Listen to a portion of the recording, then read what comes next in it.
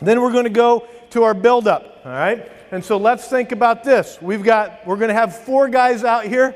Two guys can stand at half court. Want to get a guy, um, a post player, guard. Let's invert you guys. All right, let's get a wing. And big fella, we're going to stay up here. All right?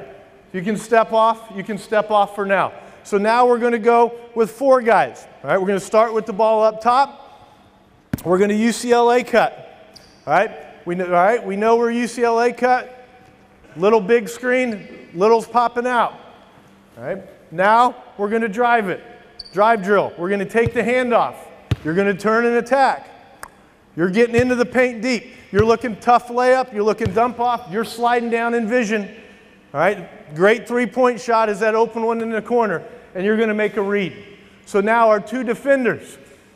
Here's the, here's the role that you're playing. All right, let's get our offense back. You know what you're doing. We want one defender guarding here.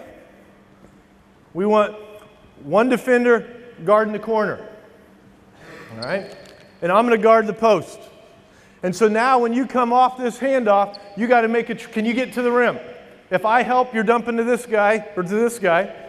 If he helps, you're kicking it out to the corner. All right? So now we're building it up. Hit the wing. UCLA cut. Boom. Guard steps up. We're going dribble handoff. You're attacking.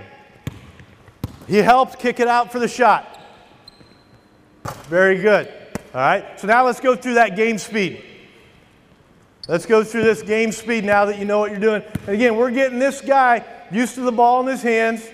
We're getting this guy used to making decisions, thinking and playing. All right?